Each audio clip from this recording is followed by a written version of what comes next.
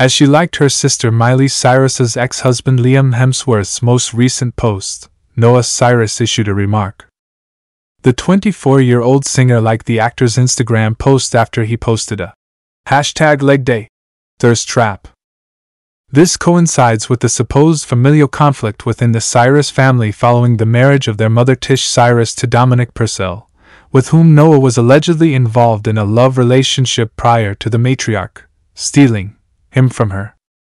The Hunger Games star tweeted a photo of himself in a black and white mirror selfie at a gym, flaunting his toned body and muscular frame while sporting a tank top and joggers.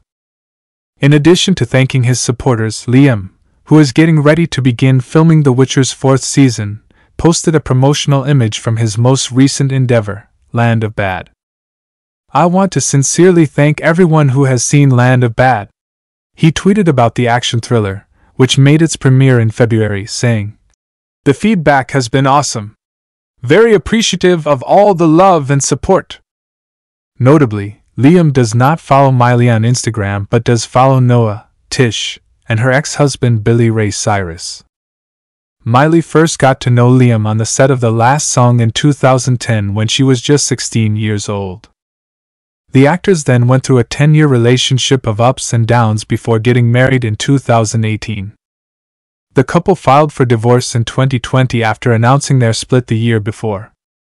Miley moved on and into a number of well known relationships after their breakup. In 2021, she began dating Maxx Morando, the drummer for Liily. It was claimed at the beginning of March that Miley had spoken with their mother Tish about the accusations that she had taken Purcell from Noah, claiming to have no idea at all about the incident. Prior to this, on August 19, 2023, Tish and Dominic were married in a small ceremony at Miley's house. Noah was not present. People had previously been informed by an informant that Noah had been, offended, to learn about the romance.